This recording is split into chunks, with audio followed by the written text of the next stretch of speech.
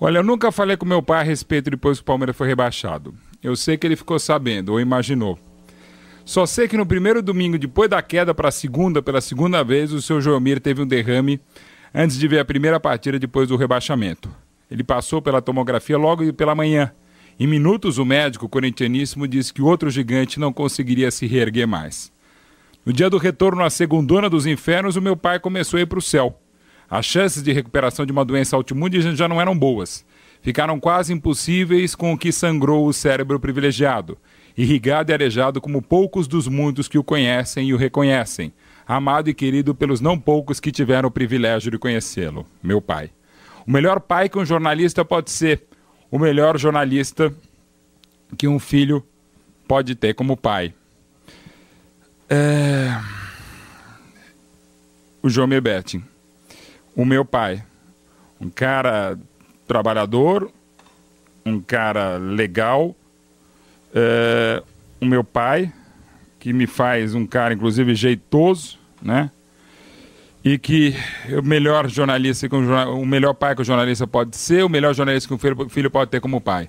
Eu precisaria dizer algo mais para o melhor babo do mundo que virou o melhor nono do universo, eu sei disso. Eu preciso, mas eu não sei. Normalmente ele sabia de tudo. E quando não sabia, o João Mini inventava com a mesma categoria com que ele falava sobre o que sabia.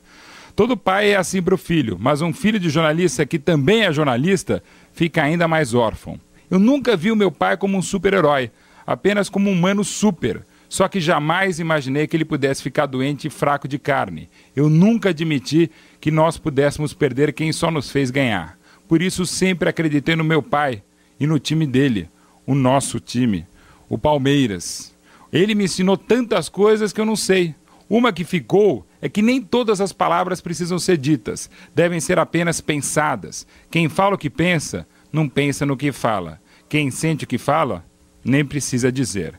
Mas hoje eu preciso agradecer pelos meus 46 anos, pelos 49 de amor da minha mãe, Lucila, e pelos 75 anos dele. Mais que tudo, pelo carinho das pessoas que conhecem e logo gostam dele, especialmente pelas pessoas que não o conhecem e algumas choraram como se fosse um velho amigo. Uma coisa eu aprendi com você, viu, Babo? Antes de ser um grande jornalista, é preciso ser uma grande pessoa. Com o João Miro aprendi que não tenho de trabalhar para ser um grande profissional. Eu preciso tentar ser uma grande pessoa, como você fez as duas coisas. Desculpem, mas eu não vou chorar.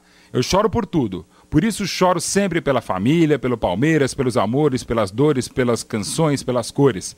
Mas eu não vou chorar por algo mais que tudo que existe no meu mundo, que são os meus pais. Meus pais, que também deveriam se chamar minhas mães, sempre foram presentes, um regalo divino.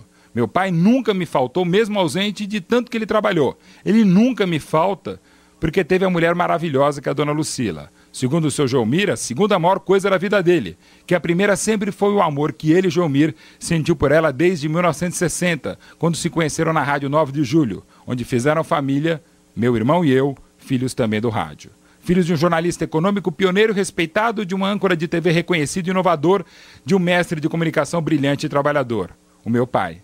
Eu sempre soube que jamais seria no ofício nem algo perto do que você foi, porque raros foram tão bons na área dele, raríssimos foram tão bons pais como ele, rarésimos foram tão bons maridos, raricíssimos foram tão boas pessoas, e não existe outra palavra inventada para falar que tão raro e caro palmeirense ele foi.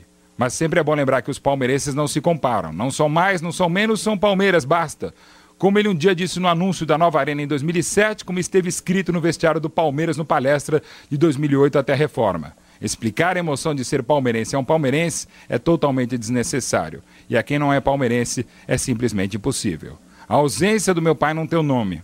Mas a presença dele ilumina de um modo que eu jamais vou saber descrever. Como jamais saberei escrever o que é o João Betting como todo pai de toda pessoa, mas ainda quando é um pai que sabia em 40 segundos descrever o que era o Brasil, e quase sempre ele conseguia. E não vou ficar mais 40 frases tentando descrever o que pude sentir por 46 anos. Explicar quem é Joelmir Betting é desnecessário. Explicar o que é o meu pai, não estar neste mundo, é impossível. Nono, obrigado por amar a nona. E nona, obrigado por amar o nono.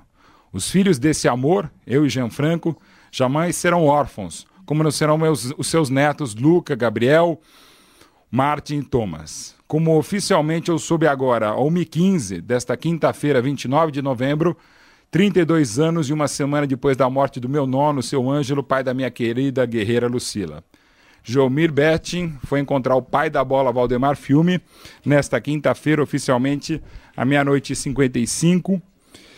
É, eu só queria dizer, depois de ter escrito o que queria dizer aqui, que você, Jomir Betting, é meu pai que nos deixa agora e que, como o seu Ângelo ele morreu trabalhando, você no fundo morreu trabalhando.